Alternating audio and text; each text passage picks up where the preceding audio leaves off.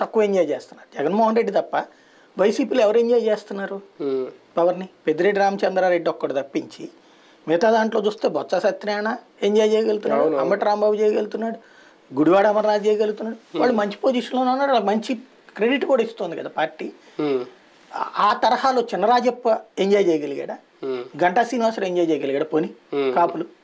ఒక్క నారాయణ ఎంజాయ్ చేయగలిగాడు అంతే. కదా? దాంట్లో నారాయణ. అది గా- ఫైనాన్షియల్ ఆస్పెక్ట్ కాబట్టి. అది కూడా అవును. ప్రత్యక్ష రాజకీయాలు రాకుండా. రాకుండా. అది తప్పించి మిగతా వాళ్ళు ఎవరు సక్సెస్ అయ్యారు వాళ్ళ దగ్గర? అవును. బేసిక్గా అయితే గనక.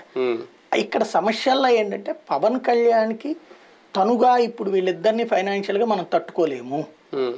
ఆయన ఉద్దేశం ఏంటంటే పవన్ అదే చంద్రబాబుని జగన్ ఇద్దరు కూడా కోట్ల రూపాయలు పడేస్తారు కాబట్టి ఇద్దరిని తట్టుకోలేము. మన దగ్గర డబ్బులు పెట్టలేము. కాబట్టి ముందు మనం అసలంటూ ఎస్టాబ్లిష్ ఉంచుకుంటే తర్వాత టైంకి వచ్చేటప్పటికి విరక్తి వచ్చినప్పుడు మనల్నే చూస్తారు అన్నటువంటి. కానీ ఎంతవరకు పవన్ కళ్యాణ్ గారు గీసిన గీత దాటకుండా ఆయన మాటకు కట్టుబడి తిరుగుబాటు జాటి జెండా ఎగరవేయకుండా కాపు సమాజం ఎంతవరకు ఉంటుంది? సామాజిక వర్గం మొత్తం ఈ వెనకాల ఉంటే కదా తిరుగుబాటు చేయడానికి. అంత సీన్ ఏమి ఉండదు. ఉన్నటువంటి వాళ్ళల్లో ఎవరైతే బలంగా మాట్లాడగలరో వాళ్ళని ఆల్రెడీ పంపించాడు ఆయన. ఓ అద్దేపల్లి శ్రీధరు జేడి లక్ష్మీనారాయణ రామ్మోహన్ రావు ఇట్లాంటి వాళ్ళు అందరూ ఎప్పుడు వెళ్ళిపోయారు కదా.